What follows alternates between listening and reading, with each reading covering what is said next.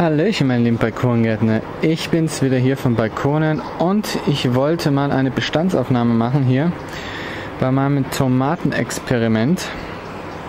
Hier, wie ihr im Bild seht, habe ich die selbst gezüchteten Tomatenpflanzen und immer noch weit vorne im Rennen ist auf jeden Fall die Tomatenpflanze hier, die ich mit Wurmhumus gedüngt habe, weil ich gehe davon von der Anzahl der Blüten aus und da habe ich mal nachgezählt.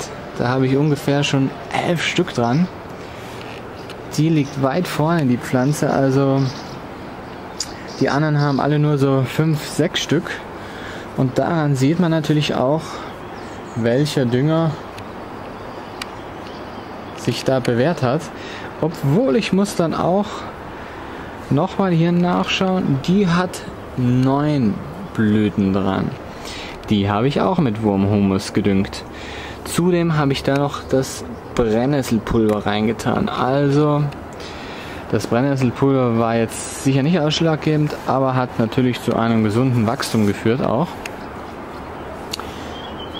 Auf jeden Fall, dann schauen wir uns nochmal die hier an. Die nächste, da haben wir drei Blüten, fünf Blüten, fünf Blüten dran. Die habe ich mit Wurmhum. Mensch, Leute, ich habe jetzt alles total verwechselt. Die mit den vielen Blüten hier, das ist die mit Guano-Dünger. Also unter dem Video findet ihr natürlich nochmal den Link dazu. Also ja, da bin ich jetzt aber überwältigt, weil, weil anfangs sah es so aus, als würde hier die Pflanze mit dem Wurmhumus das Rennen machen.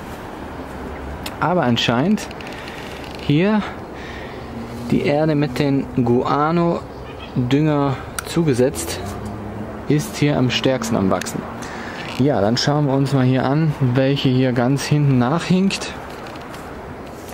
Das ist auf jeden Fall die hier da haben wir auch 5, 6 Blüten dran, aber von der Größe her und vom Volumen nicht besonders arg groß. Das schauen wir auch mal hier gleich da unten rein.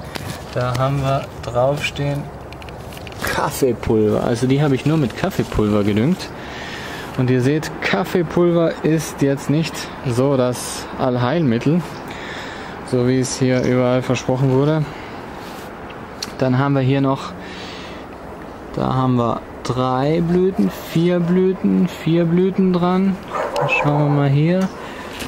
Fünf Blüten an dieser Pflanze, die sieht auch relativ, ja, gut aus, so im Wachstum auch. Und da schauen wir mal, was, mit was wir da gedüngt haben. Ah, da habe ich Schafdünger und Humus. Aber da habe ich wahrscheinlich nicht allzu viel Humus verwendet, sonst wäre die natürlich auch noch etwas stärker gewachsen. Dann schauen wir mal weiter hier, wo am wenigsten dran ist und am schwächsten, da sehe ich hier noch, ja, noch nicht einmal eine Blüte, die offen ist. Zwar sind schon ein paar dran. Das ist hier die mit dem ähm, mit dem Flüssigdünger hier. Da habe ich zwar auch etwas Humus drin, aber wie ihr seht, gibt es da auf jeden Fall Unterschiede. Man muss aber auch sagen, die habe ich erst drei oder vier Tage später umgetopft. Zwar die gleiche Sorte, aber könnte sein, dass das auch noch mal eine Rolle gespielt hat. Aber auf jeden Fall seht ihr, ich würde mal sagen, der Gewinner ist hier die Tomatenpflanze mit dem Guano-Dünger da würde ich dann für nächstes Jahr würde ich dann am besten vielleicht Guano-Dünger und Wurmhumus in die Erde mit reinmischen und das müsste dann einen extrem guten ja, äh, Nährboden für die Tomatenpflanze hergeben. Das werde ich auf jeden Fall nächstes Jahr probieren. Nächste Gartensaison, aber schaut euch mal diese tolle Tomatenpflanze. Die ist jetzt wirklich hier richtig groß. Die geht mindestens schon auf über zwei Meter hoch und die bildet hier immer noch äh, Blüten aus. Das liegt hier aber sicherlich auch an der Sorte. Das ist, wie ihr wisst, wenn ihr meine Videos angeschaut habt, das ist die, die Berner Rosé. Die ist natürlich an unsere Klimazone auch relativ gut angepasst hier. Ihr solltet nämlich auch bei der Auswahl eurer Pflanzen eher darauf achten, dass es ja, dass die ähm, die Pflanzensorte auch eher was für mitteleuropäische Breitengrade ist und nicht gerade eine ganz südländische Sorte. Die mag es natürlich viel, viel heißer als eine andere Sorte.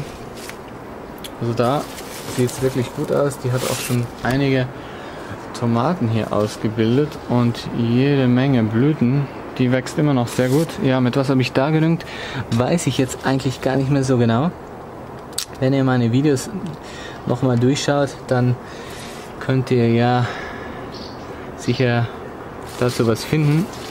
Ich würde mal sagen, ich glaube, da habe ich nur Schafswohldünger verwendet.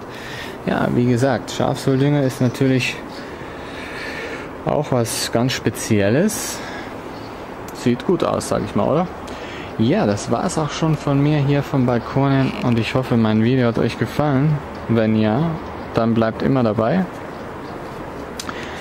Und ich bin jetzt auch schon gerade auf der Suche nach einem, ja, nach einem Garten, den man mieten kann für nächstes Jahr. Ich habe schon fast was gefunden, aber ist extrem teuer. 100 Euro für 100 Quadratmeter, naja, da muss ich noch ein bisschen verhandeln. Aber wenn das klappt, dann gibt es natürlich super geile Videos nächstes Jahr. Und ja, bis zum nächsten Mal. Euer Christian, ciao.